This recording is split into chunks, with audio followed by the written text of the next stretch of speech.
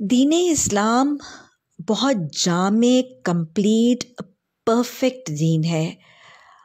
कुरान और हदीस के ज़रिए हमें हमारे ज़िंदगी के हर शोबे की बारीकी के साथ to the minutest of detail के साथ अहकाम और तरीके, आदाब और सलीके सिखाए गए।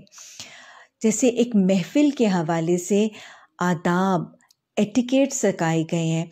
कि हमें लोगों के साथ कैसे डील करना है, महफ़िल की मुलाकात में कैसे सलाम करना है, मुसाफ़ा करना है, महफ़िल में लोगों के क्या हकूक़ हैं, मुंतज़मीन के साथ कैसे मामला करना है तो एक टोटल डिटेल के साथ महफ़िल के आदाब और सलीके सिखाए गए।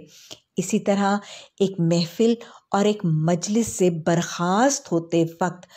हदीस मुबारक के अल्फाज में मजलिस के कफ़ारे की दुआ सिखाई गई।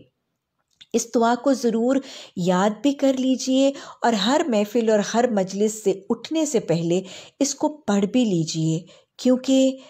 महफ़िलों में, सोशल गेट टुगेदर्स में, चाहे वो कोई डिनर्स हैं, कोई पार्टीज़ हैं, कोई और किसी शक्ल में कोई सोशल गैदरिंग्स हैं, उनमें आपस में इंटरेक्शंस के दौरान कभी ना चाहते हुए, कभी गैर इरादी तौर पर, कभी शैतान की उकसाहटों में आके और कभी कभी दानिस्ता।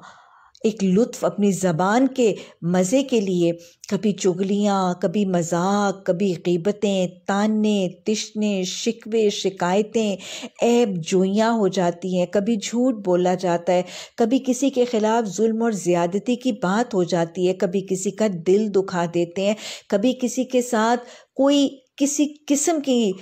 हक तलफ़ी हो जाती है और फिर मुख्तलिफ़ शक्लों में, इन महफ़िलों में अल्लाह की नाफरमानियाँ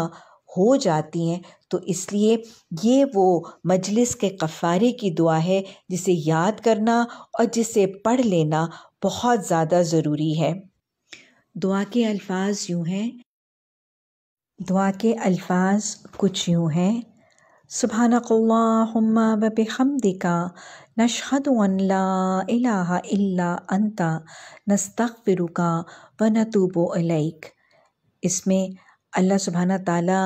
की वहदानियत का इतराफ़ है, उसकी हमदो, सना, उसकी पाकी, उसकी बुज़ुर्गी का इतराफ़ है,